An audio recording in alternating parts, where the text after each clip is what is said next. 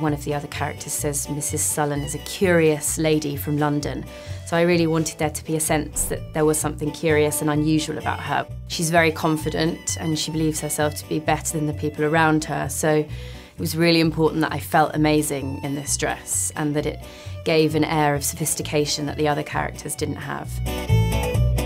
There's something about the corseted nature of this and the high neck which makes your posture change, um, and the red leather gloves and the sort of style of the wig being very done in a way that the other lady's hair is much more natural. Just little things like that can really make you feel like the character and, and help the audience understand who you are.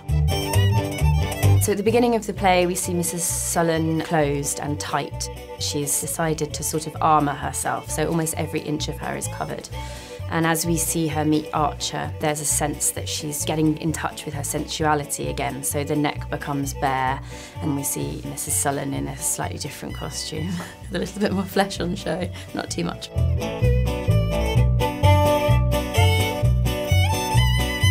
Lizzie had some amazing ideas. She wanted the characters to look like real people, not just kind of historical artefacts. She liked the idea that it was a very tailored look and much more streamlined, less frilly and flowery and flouncy than the country women.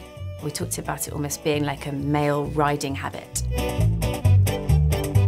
Practically, costume's important in terms of can you move in it? Can you breathe in it? Can you run up and down stairs in it? We have a set on three levels in this production.